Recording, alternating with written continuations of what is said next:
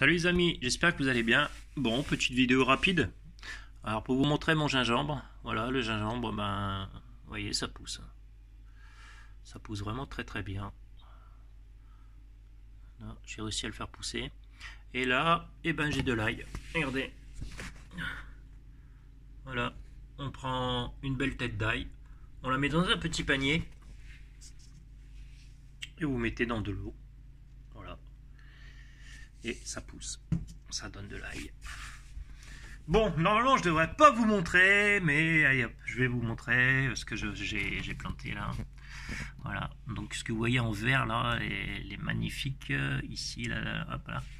Ça, c'est du bok choy, il y a du pessai, donc c'est du chou chinois. Hein. Euh, là, j'ai de la laitue à couper, donc j'en ai refait.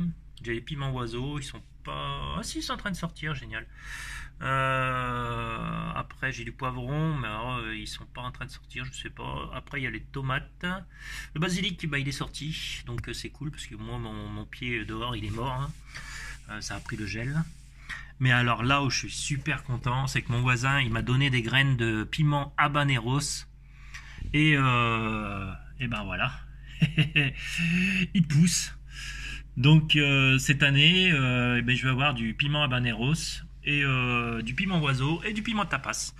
Donc euh, voilà, si vous êtes abonné à ma chaîne, euh, c'est ce que je vous recommande le plus à faire, ben vous verrez l'évolution de tout ça. Voilà, donc le chou chinois, il y a un peu de tout.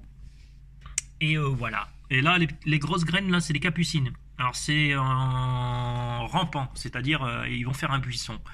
Et euh, je me suis dit, tiens, euh, en terreau, ça marche pas. À chaque fois, euh, ça sèche, ça, ça, j'arrive pas à les désarroser comme il faut. Du coup, je me suis dit, en hydroponie, ben, je réussis tout. Du coup, ben, je vais les faire en hydroponie. Et là, si ça marche, en buisson, ça devrait me faire tout le balcon. Donc, ça va être joli. Et ben, je vous filmerai tout ça. Allez, salut, merci, abonnez-vous et commentez, il n'y a pas de souci.